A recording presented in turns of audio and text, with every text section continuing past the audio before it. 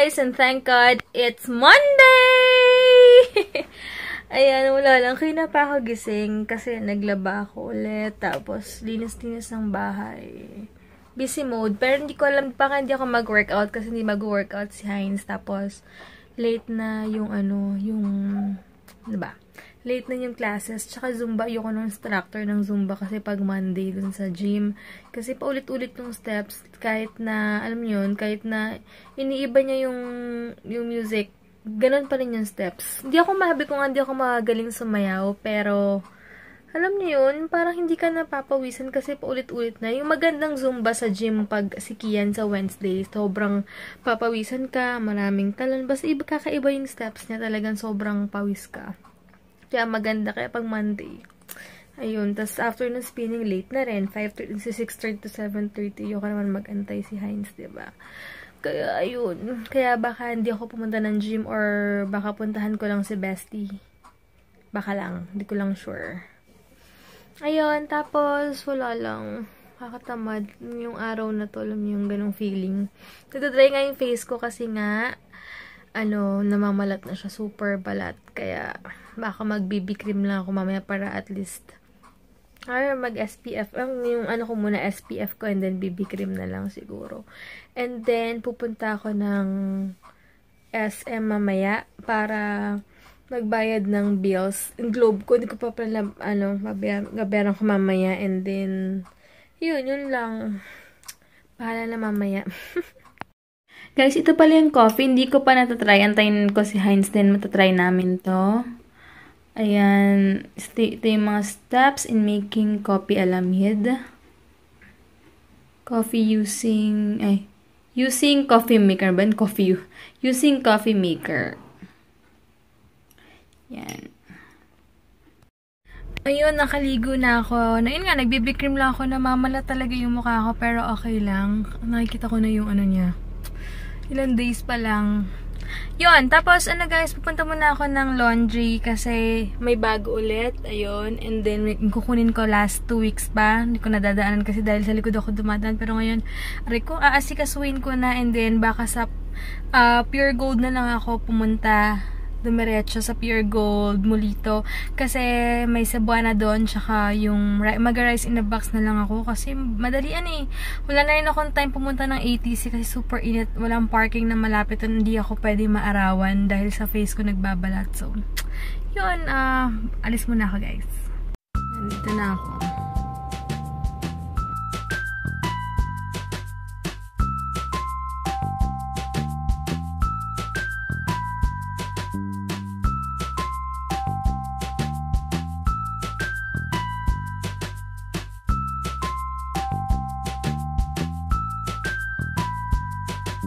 Na ako sa Pure Gold. Ayun, wala pa daw ano, wala pa. Madami ng tao sa Cebuana. And wala na rice na box dito. So, baka bumili lang ako ng brown rice. Sa gym na lang ako kakain. Hi guys! Pasensya na kalimutan ko mag-vlog. Nagkwentuhan kasi kami. Hi ate! Binom siya ng Anmum. Anmum ba Bakit yan? dyan ang ganda ko? Kasi salamin ang pangit ko. Sabi ni Joel ang pangit-pangit ko. Lalaki na yung baby. At least lalaki. Tignan, ito yung ano niya. Pakita ko sa inyo. lalaki. Di ba Magpapakanalay doon. Ay, ito pala yung iniinom. Materna. Anmum uh, ha? powdered milk. Powdered milk drink for pregnant women. Hey guys, ito pala si Bestie. Nag-workout siya ng 1 hour. 1 hour ba? Tanong ko kayo, Hindi ka naman magsuka kinaya mo. ano ka ba ako? Pero sabi niya kanina, ano nagbo-violet na yung Hindi kasi di ba may hika ako? Siguro. Ah, kaya ano. May nagpagupit ka ba? Ganyan ang hair mo. Parang ano lang, ganun. Si ano gupit ni Jason? Si Jason pala nanonood na ng vlog. Hi Jason, see you next month. Papaayos akong buhok next month. So tired. Ganun ang hair mo, sakto lang. Hey guys, wait lang. Dito na si Hi, sabay ka muna. Hey, what's up guys? Si Dustin na iwan pala kasi kakain pa siya ng salad. Ano ba bili niya? Ah, salad daw sa ano, ah, crazy garlic something. Is for this long day to day at work pero worth it. Uh, I Dami ka Grabe. nagawa. Dami ko nagawa. Nagawa. And uh, it's fun serve others. You know? Yes. Taking the lead and serving others and being an inspiration to them in any way uh, I can by going the extra mile for them. You know, pero wala lang, I feel so happy. Kaya, magaling ganon. Tsaka yung magaling nag-enjoy sa ka. pakiramdam na ano, sorry, ikaw naman yung. Nag-serve. Yes. Iba kasi talaga kapag ikaw yung na- mas nagpapasaya. It's, kaya nga diba, it's better to give than to receive. That's kasi right. totoo yan eh. Hmm. Yan, yan lang. So, lakad na kami. Punta kami ng ano, ng Taco Bell. Taco Bell. Anyway, may nag-comment kasi last time. Ah. Sabi na parang, bakit daw hindi ako nagluluto sa bahay? Sabi niya, mas parang mas ma-appreciate hindi na natatapos yung issue na parang mas ma-appreciate mo daw kung nagluluto ako sa bahay. Nagluluto naman ako, pero hindi naman ako ganun na super luto kasi nga, hindi, hindi ko kailangan mag-explain pero para matapos na rin yung issue. Kung nanonood kayo ng vlog namin ever since, alam niyo kung bakit kami laging Aminin kumakain sa labas. hindi ka marunong magluto. Oo, al- ayun nga, hindi ako marunong magluto, pero nagtatry naman ako. Tama. Pero naman siya. kung ngayon, kung Hindi practical. hindi rin practical sa panahon ngayon kasi umaga pa lang, Wala na ako. wala siya. Kung magluto, dati nagluluto ako nung mga nagtatry ako, pero marami nasasayang na food. As in, sobrang, sobrang sayang. And, tsaka, Unless bigyan na lang kami ng mga parents. Mm, tsaka kung sa pagsasama namin ni Heinz, parang kami naman to eh. Pagluto ko siya or hindi, mainit siya sa akin o hindi, pagsasama namin to, di ba? Parang kahit ano naman gawin or sabihin nga sa akin na hindi ako marunong magluto or kung ano man. Wala, wala magbabago sa sama namin ni Heinz and naiintindihan niya. Kaya yun, siguro yung nag-comment baka ano yun, bagong subscriber or ano man. Kaya ganun yung sinabi niya. Totoo yun, mas ma-appreciate talaga ng asawa mo talaga pag marunong kang magluto. Pero sa sitwasyon namin, kung alam niyo lang, Hindi diba? practical. Hindi talaga practical. Imagine nyo, sa 85 pesos ko, naka-brown rice na ako. And, ano, healthy na yung food ko kahit pa paano. Kaya, yun, it is versus magluluto ka pa. Pero, Lagi ka syempre, sa bahay, oh, of business. Tsaka lahat yan, lahat yan talaga matututunan la, ah, pag gusto mo talaga. Sobrang dali lang din.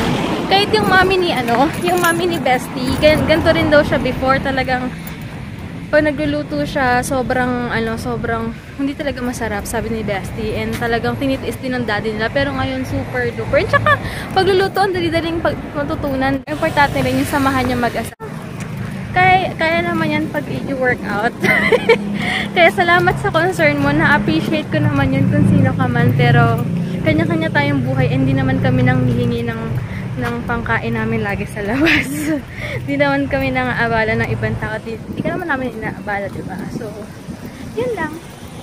Diba? Yeah. Napahaba na yung sinabi ko. So, yun na kami. Kakain kami sa Taco Bell. And then ako baka mag, ano, mag-tacos ako. Parang nag-alala pa ka kanina, kausap ko eh. Bakit? Sabi niya, ano, ah, hindi mo sa akin nag-penalty. Ayan, bibili ako ng castor runes. Sabi ni Heinz, meron daw palabas na hele, yung kay John Lloyd, tsaka kay Yolo na. Piolo. 8 hours daw. Magpa magkano kaya yung 8 sa sinihan? 400 something daw. Seryoso? Wow. Gusto manood? Last full show hanggang 3 a.m. Wala na siguro, siguro one, one show lang yun. Ay, bakit siya mo? Holding bike lang.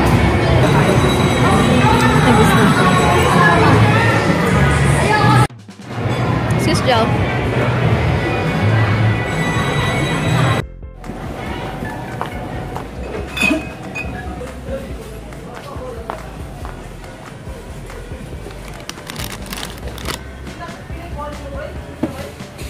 Bili kami ng dressing, yung Clara Olay na ano, ano yun? Dressing wala. Wala ba dito?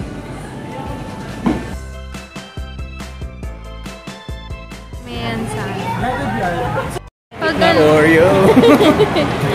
pag bibili kami dun, tuwan-tuwa yung mga ano dun, yung sa DQ. Kala kami. Anyway, punta balik na kami. Wait. Tawa ko kay Rupert eh, no? Tawa ko. Rupert, happy lunch mo agad ah. Kaya nga eh. Uwi na kami and sakit na ng tiyan ko. Tapos yun, and then pahinga na maaga. Yung hair ko, yan ako na lang. Ayan. Kasi okay na yan sa camera. On cam eh. Pero off cam. Pag off cam, di ako sumusubo. Hindi, huwag na ako. Na may, ma- may castor